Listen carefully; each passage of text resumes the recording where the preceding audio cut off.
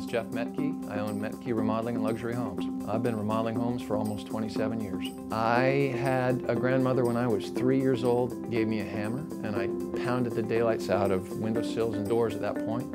I started building furniture and cabinets when I was 14, 15 years old, and have been basically doing it ever since. My favorite part about being a member of the Pro is the camaraderie, the opportunity to network and build new relationships, and even more important, the, the opportunity to sharpen the saw. Place where you can come and learn very important things about how to grow your business, how to manage your business better, and you can do it in, a, in an environment where there are people that care about you.